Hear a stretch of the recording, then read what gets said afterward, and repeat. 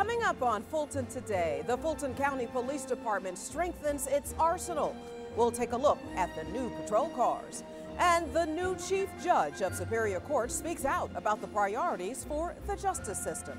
Fulton Today is next.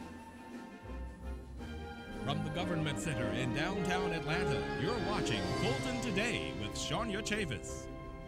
Welcome to Fulton Today, everybody. I'm Shania Chavis. The Fulton County Police Department has nearly two dozen new cars now in South Fulton County. Known as the Interceptors, the new high-tech and fuel-efficient Crime Stoppers are made possible thanks in part to taxpayers and grant funds. FGTV's Priscilla Ortega has our story. The 22 new police interceptors are safer, more fuel efficient, and will save the county money by avoiding costly repairs. It will also keep the officers on the road a longer time versus pulling out of service, uh, going for vehicle maintenance repairs. The 2014 models get 17 miles per gallon in the city, as opposed to the old Crown Victorias, which had 14. When you're rolling a full fleet of cars, uh, which is 24-7, um, it really adds up to a lot of savings for Fulton County. In order to save money, some of the equipment that can still be used is being transferred from the old Crown Victorias to the new Interceptors. And as soon as these new cars are equipped, they're assigned to an officer and rolled out onto the street. The safety features include a steel crossbar under the car that can withstand a rear crash of up to 75 miles per hour, four-wheel drive, which means better handling around tight corners, and the officer's radio is now closer to reach. Plus, a ProGuard back seat means sanitizing will be a lot quicker for the officers. We can hose them out, uh, close the uh, window to the back seat, and actually hose them out if we need to, in case there are any type of bodily fluids, uh, anything that's in the rear, left in the rear of the seat. These new patrol cars are the latest safety upgrades for Fulton County Police. Last year, the county purchased two new T3 patrollers and upgraded its helicopter with new features. Reporting for FGTV, I'm Priscilla Ortega. Thank you very much, Priscilla. Meanwhile, DeKalb County officials tapped one of Fulton County's own to lead its fire department. That meant Fulton County had to say farewell. Right now, uh, Darnell Fullum is going to probably be answering his last bell for the fire department at Fulton County. After 26 years of service, Deputy Fire Chief Darnell Fullum is retiring. The Board of Commissioners acknowledged his service to the county with a proclamation. We're going to miss you, D. Take care. It has been an honor to serve the county for the last 26 years. The fire department also hosted a reception in his honor. Fullum's years of training and dedication to the profession has paid off. The chief is the latest in a long list of county professionals who have been hired for top ranking fire positions around the country. Fullum will be busy as DeKalb County's chief. They have 26 fire stations and more than 800 firefighters. Fulton's top executives evaluate the county's performance during the last winter weather event. The county manager immediately mobilized his emergency, human services, facilities, and communications professionals to prep for the storm. Arts, libraries, parks, and rec facilities all closed early as the storm approached, and county services were modified during the wintry mix. The Atlanta Fulton Emergency Management Agency Director is developing an official evaluation of both storms for the Board of Commissioners. Well, there is a new chief judge presiding over the Atlanta Judicial Circuit. Superior Court held a change in gavel ceremony to mark the change in leadership on the bench. Judge Gail Tusan was elected after Chief Judge Cynthia Wright announced her retirement. Well, I'm really excited for Judge Tusan for the opportunity for the court to move forward. Uh, judge Tusan, of course, takes up the mantle from another great chief judge, and that was Judge Wright. Judge Wright's done so much during her four-year tenure to move our court forward, to make it more accessible, to make it more transparent. And I'm, I, as a member of the bench, am committed to helping Judge Tusan and continuing that mission of moving our court forward to better serve the citizens of Fulton County. Judge Tusan served as the first deputy chief judge of the court last year. She has more than 25 years of experience on the bench. The new chief judge joins us now to talk about her new role. Judge, congratulations and good to see you on Fulton today. Hi, Shania. Thanks for having me.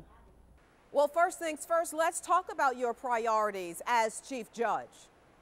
Access to justice is very important to me and to our community. So I want to make sure that we are employing the best practices to make sure that our courthouse and our services are available to all citizens. Um, I would be focusing on bilingualism, um, the signage in the courthouse, um, and all of the, the barriers that exist that we may not be sensitive to for individuals who are not schooled in the law. And now, can you speak to some of the challenges of the position? I think one of the challenges is trying to um, bring together all of the different stakeholders and justice partners um, around the table and keep everyone focused on our common goals of providing customer service and making justice um, accessible to everyone. I think another challenge and one of my priorities is to focus on the mental health community. And I'm very interested in figuring out um, better ways for our court system to respond to the needs of those that are mentally ill.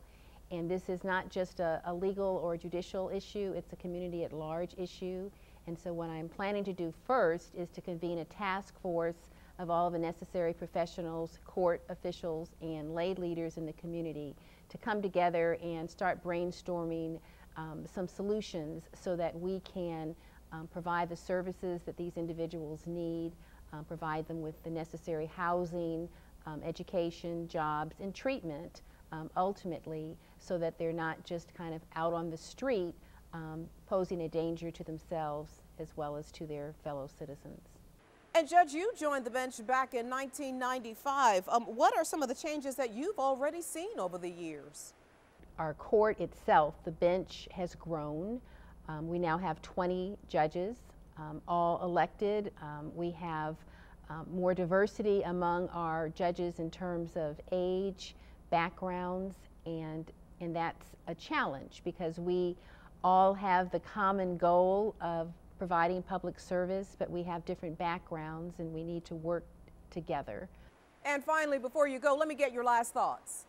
Simply that the courthouse um, is belongs to the public. It's not my courthouse. It's not the um, you know the property of my 19 colleagues. It is it's a public community institution. The doors are always open. We encourage citizens that may be watching to just come in and, and see what the process is. Well, the new Superior Court Chief Judge Gail Tusan, again, congratulations and thank you so much for your time. Thanks for having me. Um, I've enjoyed talking to you and I look forward to being invited again. Take care. Meanwhile, Superior Court is expanding its reach to the public with its new Speakers Bureau. Citizens can request judges, administrators, or staff members to talk to schools, businesses, and organizations about law-related topics. The Office of Court Administration launched the Speakers Bureau initiative for 2014. Well, in today's world, you hear a lot about trust and transparency as it relates to government. Well, the Fulton County Superior Court continuously tried to find ways to build trust and bond with our community. The Speakers Bureau, as part of the Communication Community Engagement Initiative, is one of the ways to do that. As the busiest trial court in the state, Superior Court has more than 20 judges. Log on to Superior Court's website to get more information on scheduling a speaker. And the Fulton County District Attorney is recognized for his service and leadership. The King Association for Social Change presented Paul Howard with its Phoenix Award for Leadership in Tifton, Georgia. Organizers cited his work as a humanitarian and children's advocate. Howard also received recognition from Atlanta Neighborhood Planning Units, or NPUs, for his service to the community and for opening community prosecution offices. This award was the was recognition by four Atlanta neighborhood planning units and what those planning units said is that those community prosecutors are doing a good job. And it was very important for me and our office to get that acknowledgement and recognition from the citizens themselves. There are nine community prosecution offices throughout the county. The offices were developed to get communities more involved in the criminal justice process. And still to come, education tops the agenda during a meeting with Brazilian officials. It's a part of our district by district coverage next.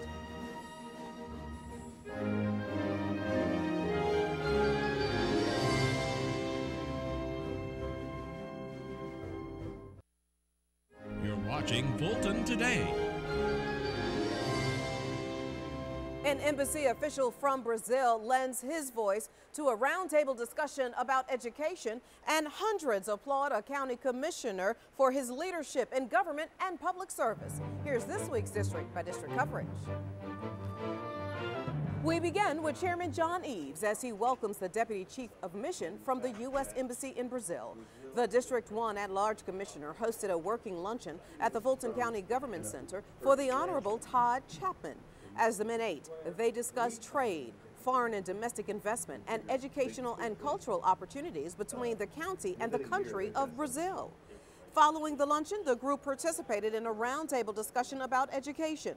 They explored student exchange opportunities for the Brazil Science Without Borders and Brasilia Without Borders program. I think that, you know, Fulton County has a great opportunity in Brazil. There are educational opportunities in that many Brazilians would like to come to the United States to participate in, in the great educational institutions. The idea is to try to get specific, to have areas that we may want to prioritize so that Fulton County can cooperate with cities in Brazil beyond the cooperation that it has already been leading with Bahia.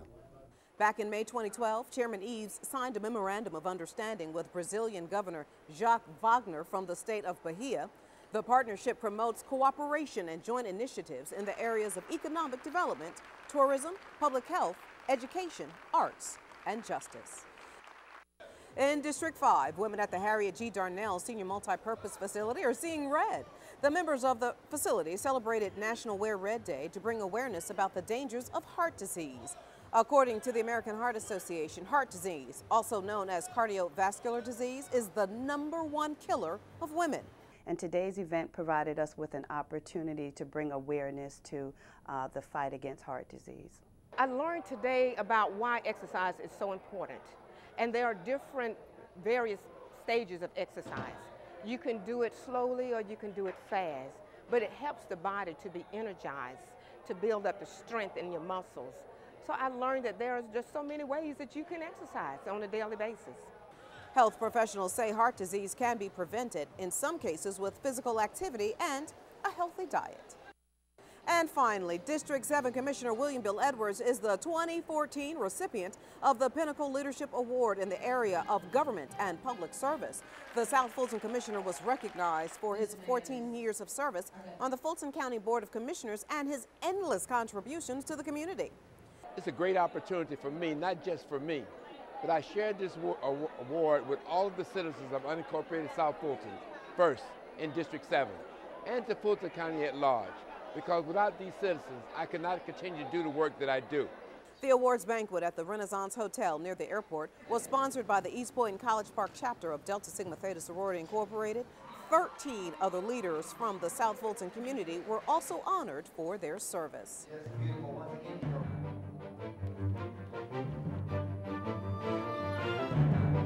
still to come, more women show off their colors to fight heart disease. That story when we come back.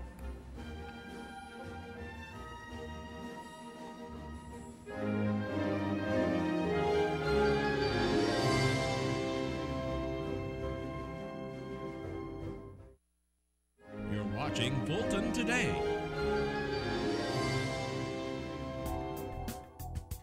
Portions of the following segment are part of the Fulton County Common Ground Initiative. Common Ground, the county's comprehensive solution to the problem of health disparities in the community. All month long, Fulton health officials are spreading the word about heart disease. Now, it started with National Wear Red Day to bring awareness about the disease to more women. FGTV's Lynn Vaughn has the story. At the South Fulton Library celebration of National Wear Red Day, health experts shared some common misconceptions about heart disease. Some women having a heart attack think they have the flu. They have nausea, vomiting, epigastric discomfort. The American Heart Association says 64% of women who die suddenly of coronary heart disease have had no previous symptoms. So it's crucial for people to monitor their health conditions. Our blood pressure should always be uh, 120 over 80 or less. Um, we should also know our cholesterol numbers. We should know our family history. The women who attended the event said it reminded them how important it is to exercise at least 30 minutes every day. If at any point you do think you are having a heart attack, remember time is the enemy, so you need to get help as soon as you can. Reporting for FGTV, I'm Lynn Vaughn. Thank you very much, Lynn. Meanwhile, Fulton health professionals also promote a new FDA campaign aimed at young smokers.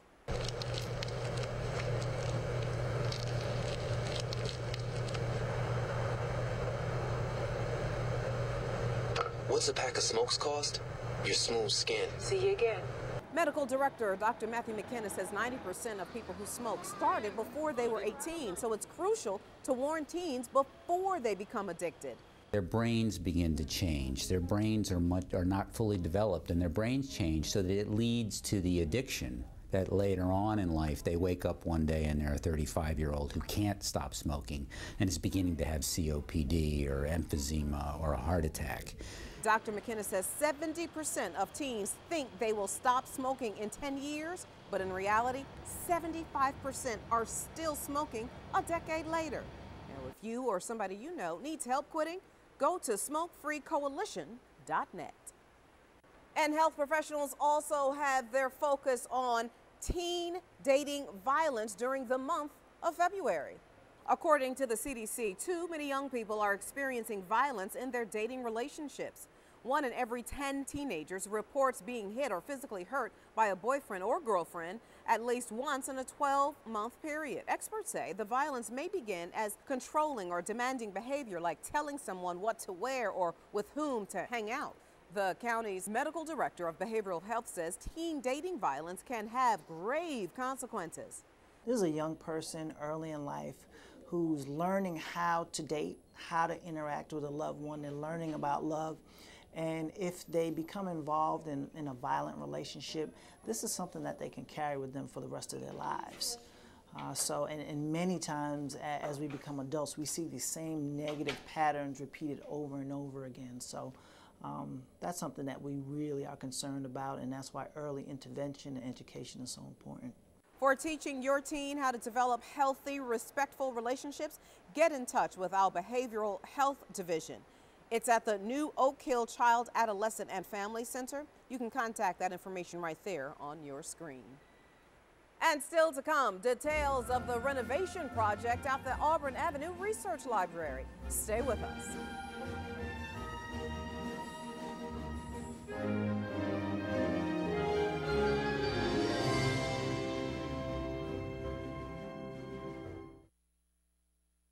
You're watching Fulton Today. Volunteers who love to read are needed at the Northeast Spruill Oaks Library. The Atlanta Fulton Library System is recruiting volunteers who like books and like to work with children, teens, and adults. The volunteers are needed for one to two hours a week. Special training is required. We have a different orientation schedule and orientation process for young volunteers, which is the 12, the 13, and 14 year old, whereas the adult volunteers are 15 years of age or older. Residents who are interested should contact Karen Swinson by phone or email. The Northeast Spruill Oaks branch is located at 9560 Spruill Road in Johns Creek. An update now on a library renovation project. The Auburn Avenue Research Library on African American culture and history is now back open. The library closed for a few days to prepare for a $25 million expansion project, but now that project is postponed. It's now expected to start in a few months, but an exact date has yet to be determined. The future renovations will include adding an auditorium that will seat 240 people. Of course, we will let you know when the closure will happen. And finally, a family trip that is easy on the wallet. Fulton Free Saturdays happens on the first Saturday of every month at the High Museum. All Fulton County residents can attend as a part of a partnership with the Fulton County Arts Council. Residents just need to bring a driver's license, utility bill, or a student ID from a Fulton County school. The great thing is that the High Museum has a partnership with the Fulton County Arts Council, and they sponsor visitors who live in Fulton County to be able to come to the museum for free on the first Saturday of the month. The next Fulton Free Saturday happens on March 1st. Feel free to visit the High Museum's website to check out new and upcoming exhibits. And before we go, our reminder that we'd like to hear from you about the stories and programs right here on FGTV. Go to our website to take a survey or email or call us. The number 404 612 8317. The email address is fgtv.feedback at fultoncountyga.gov. You can also follow us on twitter.com slash FGTV, friend us on Facebook, and watch us on YouTube. Well, that does it for this edition of Fulton Today. I'm Shania Chavis. Thank you for joining us. Join us each week for news around and about Fulton County.